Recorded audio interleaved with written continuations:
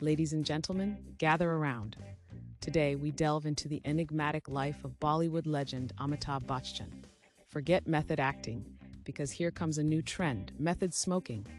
Yes, our beloved Big B once smoked 200 cigarettes a day.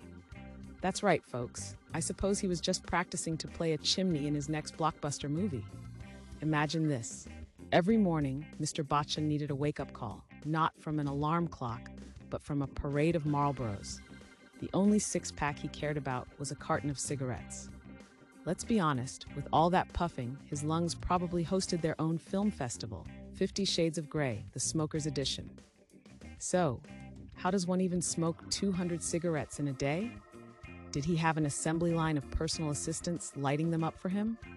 Or perhaps he hired a professional smoking coach.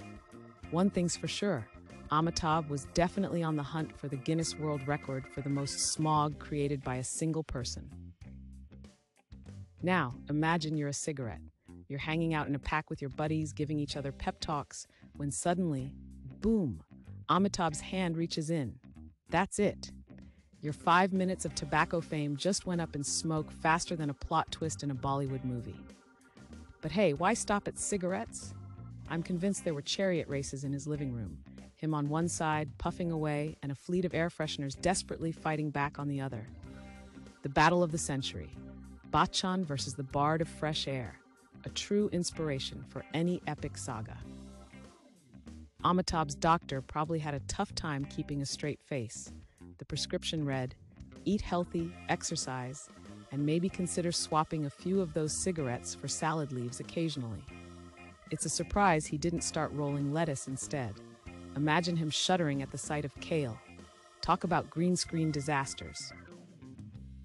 So, dear audience, what's your take? If Amitabh smoked so much because of a script, what could possibly be your excuse? Should we all, like him, start contemplating a career in chimney impersonation? Or are we better off just trotting down the path of carrot sticks and green tea? Let me know what you think. Like and subscribe, please.